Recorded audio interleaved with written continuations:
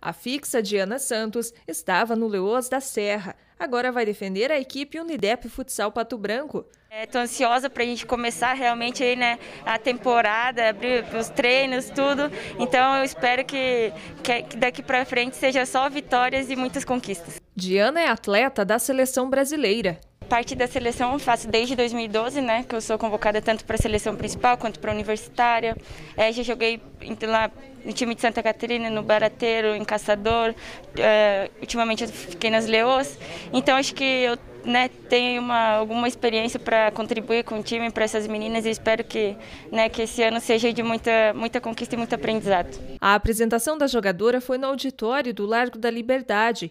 Também participaram da solenidade o prefeito, a vice, diretoria da equipe, patrocinadores e a comissão técnica. O currículo dela é monstro, é jogadora que frequenta a seleção brasileira todas as convocações, não foi agora porque foi só as europeias que foram convocadas. Diana recebeu a camisa da equipe. No ginásio do Olivar Lavarda foram apresentados os uniformes do time para a temporada 2021.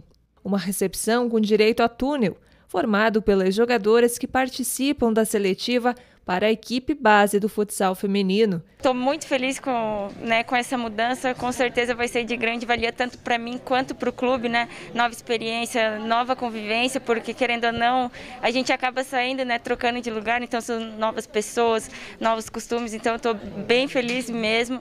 O início dos trabalhos está previsto para o dia 15 de fevereiro quando o time todo principal deve se apresentar, com boa parte das jogadoras que atuaram no time em 2020. Também com a apresentação da Diana, é, a gente conclui mais uma etapa e já planejando para metade do mês começar os treinamentos juntamente com, com os testes clínicos e, e físicos que, que teremos no início. Equipe principal montada, então? a equipe principal montada. A gente tem algumas coisas ainda para ser ajustadas, para serem ajustadas. Essas coisas se relacionam ao plantel.